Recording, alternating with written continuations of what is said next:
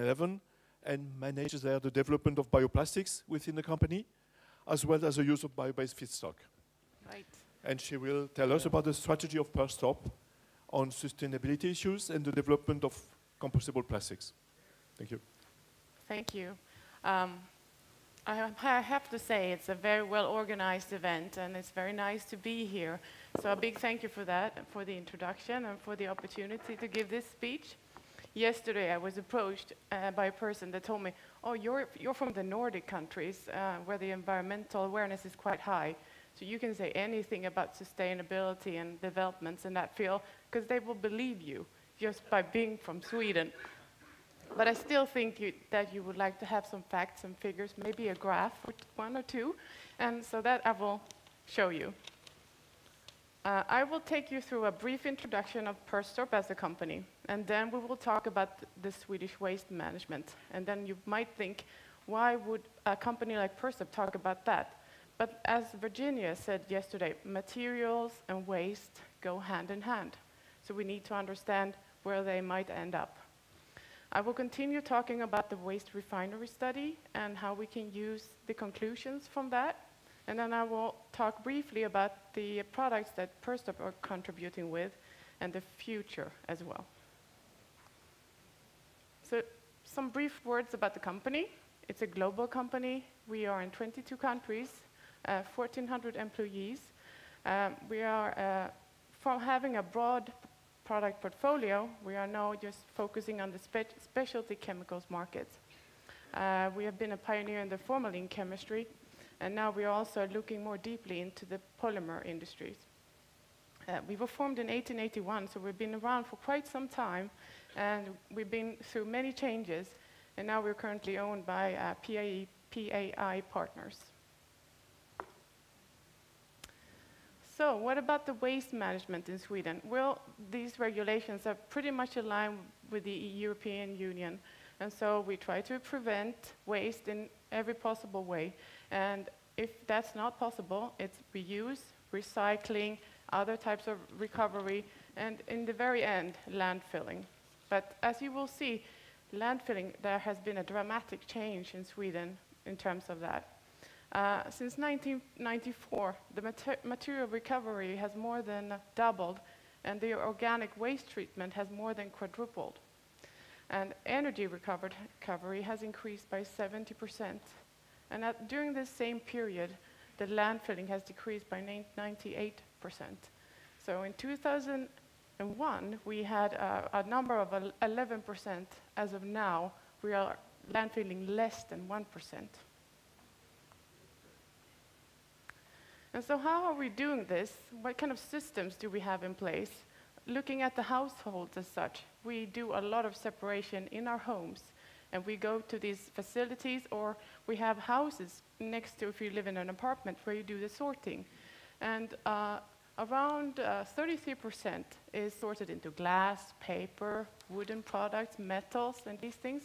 And then 50% goes to energy recovery and 16% is the organic waste, which we are sorted ourselves.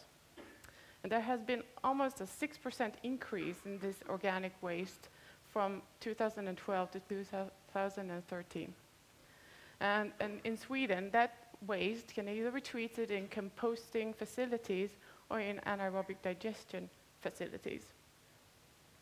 And there have been collection of these, and they are done by the municipalities or external actors. And we have over 290 municipalities in Sweden. And so you can imagine aligning that work and getting it all to, yeah, to sort it out. Uh, it uh, can be a challenge sometimes, and the, how we are handling the waste can be a bit different, especially when, when we look into the anaerobic digestion. And that's why we did a waste refinery study as well. And these numbers, these increasing figures, it shows that there is an increasing awareness. We want to make a change, and it starts in our homes. And so that also tells us that what the materials that we are developing will have an impact, and we need to help the households using them in a good way. then we look into the trends of composting and anaerobic digestions. there's actually an increase in the anaerobic digestion by 21%, and the composting is decreasing by 14%. And really, the reason for that is the added value by having the biogas. And then in the end, if the digestate is certified by SPCR 120, which states the metal content and that it's uh, hygienized and so forth, then you can have it as a fertilizer as well. It's quite interesting figures. And so that's the driver. And in certain regions in Sweden, the, the biogas production is really taken off. The bigger cities like Stockholm and Gothenburg, especially in the south of Sweden, where I come from. And so you can see that the two major parts where it's being used is as a fuel or as a heat. And if you look at the trend, it's just increasing. So that is something we need to think of when we use these bioplastic materials. The, the um, waste refinery study that was performed 2013, it was really to find uh, an overall solution in terms of having a, a bio bag for food waste. We have, uh, as I mentioned, several different systems where we try to collect the food waste. We have a paper bag in some areas. In other areas, we have a plastic bag, and they have different colors, and they are colored green for the organic food waste. And then they are separated by IR, and so, and then the bag is removed. And then we have the existing bio bag. And uh, the paper bag is not very much appreciated from a user point of view. They are leaking, it's difficult to seal them, they can break when you use them, and they can actually get stuck in the vessels in during the winter time when it's freezing, which is quite common in Sweden. The plastic bags, they get stuck in the processing parts normally, but that is not all, all, all, always the case. There's some more pedagogic thing to it you throw your organic waste into a plastic bag where you are not supposed to throw any other plastic things inside, and who, how to tell them apart. And you could argue the same for the compostable bio bag, but somehow it's more accepted. But it's not biodegrading rapidly enough in these systems. And so, how can we approach that? Well, in this study, it was decided to develop a new compostable bioplastic bag. And it has to fulfill several criteria from a user friendliness, but also from a performance point of view, and it should fit in existing systems. I would say it's quite tough. Let's see how it went. Uh, it, there were three parts to this study. Quite busy slide, but I will take you through it. The first part was actually to formulate the material. And uh, to find a, a solution that could biodegrade quickly enough, but still were user-friendly, and fulfill the SPCR 120, which is that you can use the digestates as a fertilizer. Uh, the households, they liked it. We, they got positive feedback, but unfortunately, it didn't work in these different systems that we have in Sweden. Another part of, of this study was to evaluate the anaerobic digestion. And unfortunately there, it did not contribute to any of the biogas production either.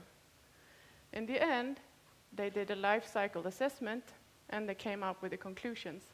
And when they studied the, the material used in the bag and how it was processed, and, you, and uh, uh, they found that it's similar to the paper bag, but better compared to the plastic bag, and not that surprisingly.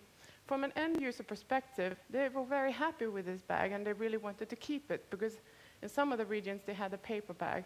And so they really argued to keep it after the study was performed. Uh, however, what did we learn from the study overall? Well, I would say that the criteria were quite tough to begin with. We tried to solve many different problems in many different systems in Sweden with one bag.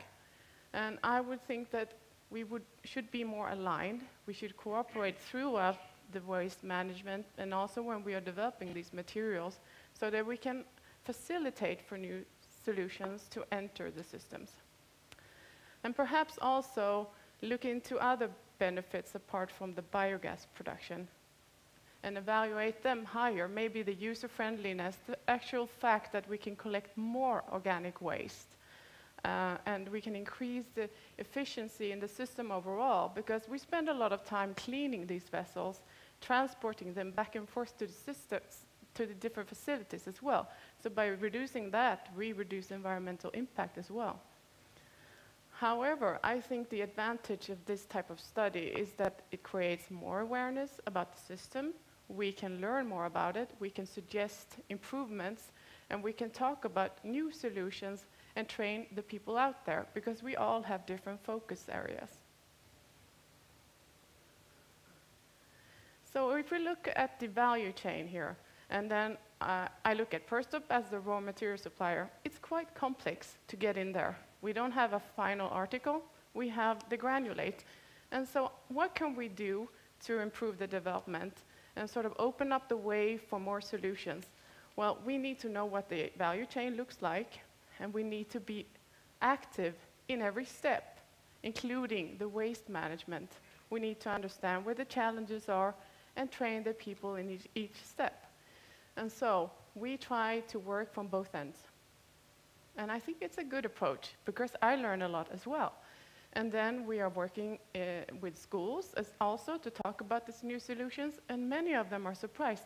So you have a product, it's available. Yeah, it is. You can test it. And we have to collaborate among each other because if we look at the percentage of bioplastic compared to conventional plastics, there's room for all of us in that market. And so by helping each other and developing things together, I think we can reach much further and quicker. And so what does it look like within the company of Perstorp? How do we look at sustainable development? Well, bioplastics is a part of it, but being a chemical company, we need to do much more. And so the aim is to use less toxic ingredients, not only in the processes as such, but also the, when we make the product, and to decrease the emissions. We try to target and promote sustainable end-of-life options where it makes sense, but we only make a very little piece of polymers in our product portfolio. We try to implement renewable raw materials where it makes sense. Not all renewable raw materials are environmentally friendly. We heard about this earlier. We try to reduce the carbon footprint. We do the LCA homework in, on all our products. We try to implement more energy efficient systems and we use energy, renewable energy sources. And in the end, we want to reduce waste. We want to avoid waste and so we try to make long-lasting performing products. Looking more at the bioplastics again, my favorite topic. So what can we offer? Well, most of our R&D we spend on making more sustainable solutions. And having the product brand Capa and the, the product under that brand, it makes sense for us to focus on bioplastics because it's compost biodegradable, compostable, and compatible with many other biopolymers. And so with that in mind, our approach is that by making blends with, for example, PLA or starch-based plastics, you can extend the use of these, enhance the properties, and use them in applications where you might not think it would be possible. And we have the certifications for it as well. And if you want the data and the graph, we have that too continue. And if that's not only, end-of-life options might not just be the only interest for many of us working with biopolymers.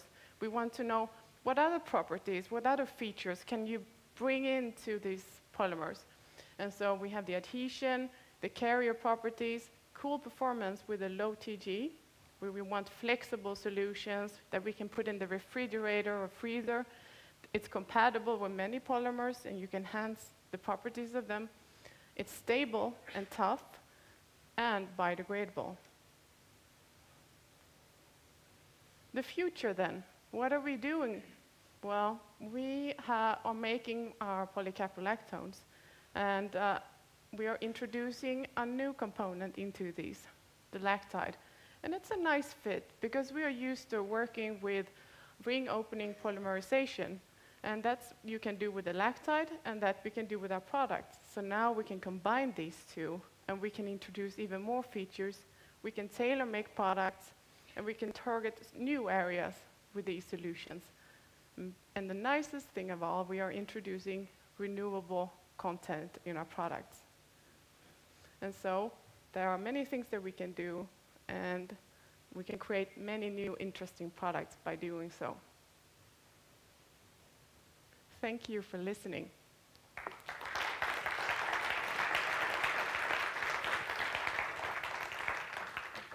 Thank you. This is a very interesting story. Any questions? We have a few minutes time. Yep.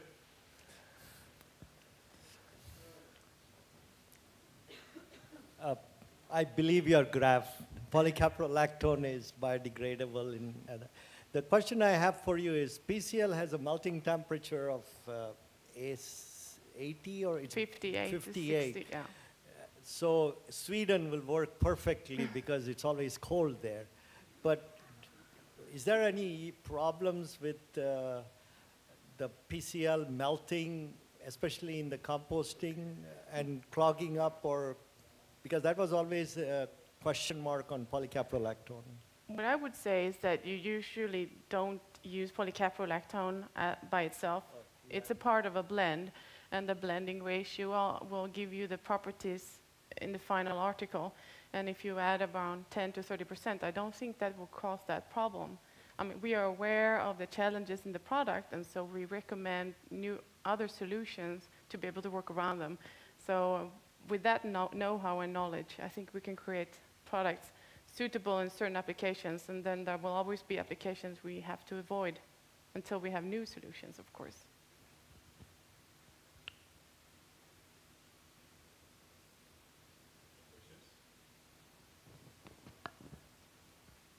Well, if not so, thank you. Thank you. Thank you very much.